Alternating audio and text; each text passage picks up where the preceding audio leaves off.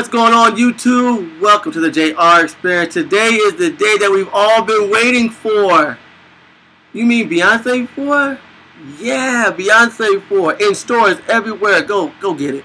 Go your especially Target. Go get that deluxe edition for yourself. You can't miss a big huge shelf of Beyonce's big face on there.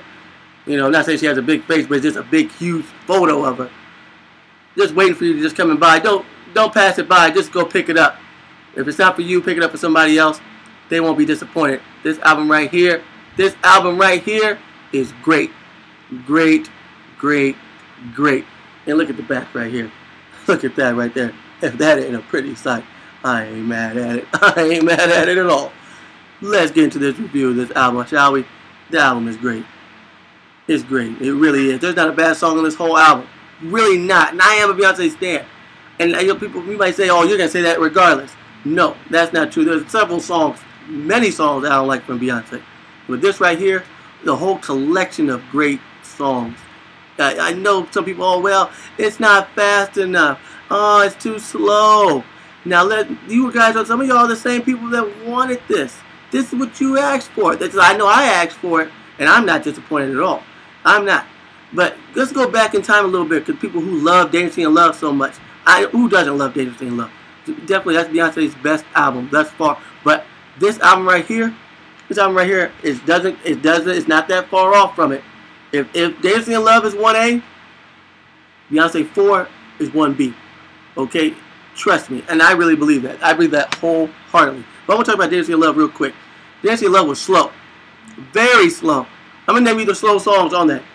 Dangerously in Love, Me, Myself, and I, Closer I Get to You, Daddy, Virgo, I mean, Gift from Virgo, Signs, Yes.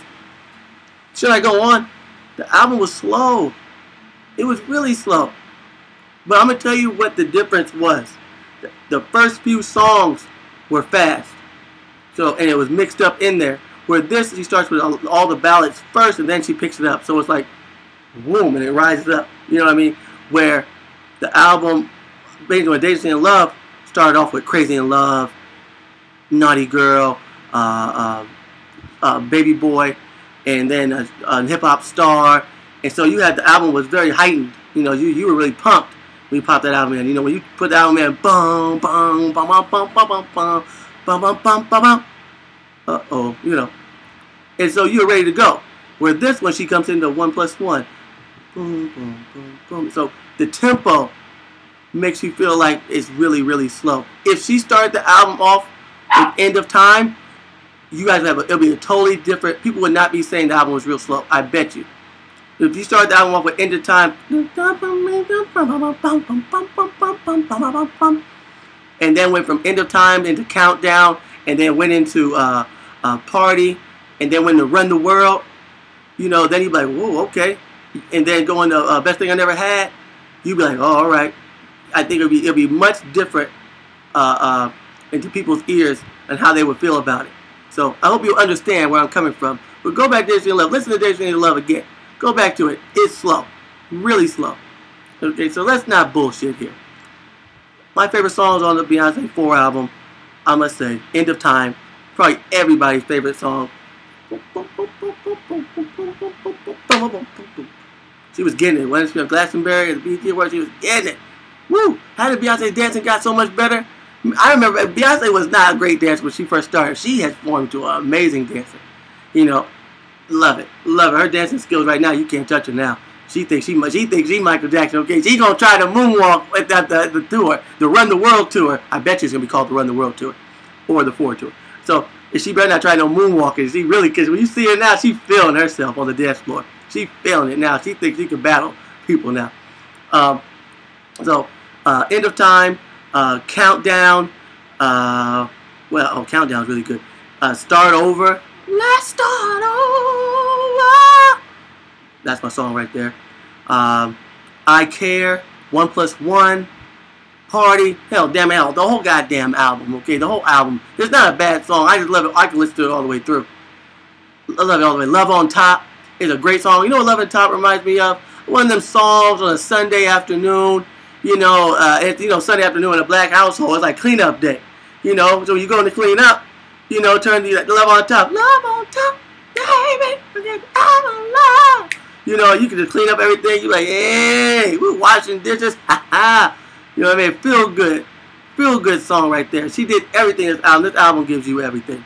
This album gives you a little bit of the 90s. She took it back. Album gives you reggae, a little island rhythms. She gives you a little Afro beat. She's giving you R&B. She's giving you a little bit of pop. She's giving you just something for everybody. So this album is definitely a gem.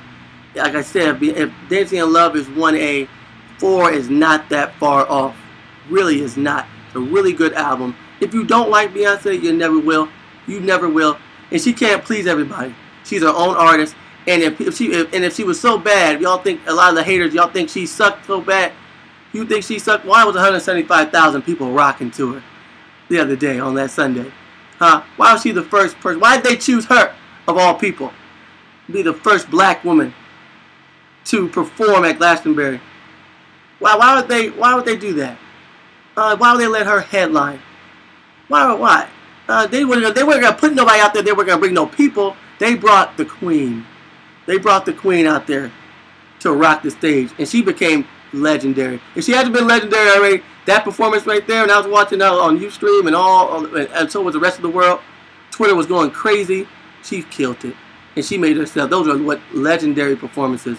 And so this girl right here is legendary. Stop hating on her. If you they don't hate, put on the tape. Album four, Beyonce, go get it. Stop. Don't like I said, don't play with yourself. Don't don't do it. Go get it. You can't miss it at Target. On that note, rate this video, like this video, comment, do all that for me. Peace. I'm through.